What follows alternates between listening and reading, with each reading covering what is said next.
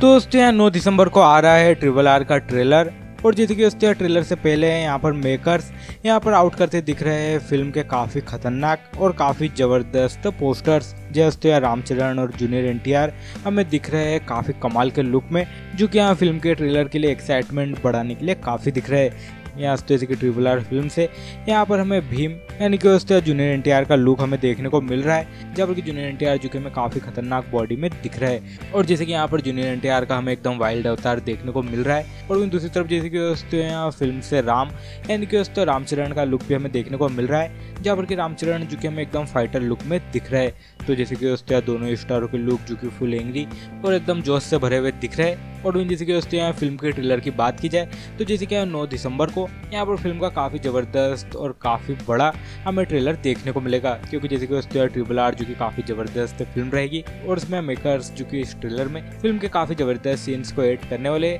जो कि यहाँ इस फ़िल्म के सभी का एक्साइटमेंट दुगुना तिगुना कर देगी। तो जैसे कि दोस्तों, यहाँ बाहुबली के बाद यहाँ पर एस एस राजमौली जो कि लेकर आ रहे हैं ट्रिपल आर, लेकिन जैसे कि दोस्तों, यहाँ फ़िलहाल तो फ़िल्म के काफ़ी खतरनाक पोस्टर्स हमें देखने को मिल रहे हैं। साथ ही और बॉलीवुड से बड़ी लेटेस्ट अपडेट के लिए चैनल को सब्सक्राइब करें, लाइक शेयर कमेंट ज़रूर करें।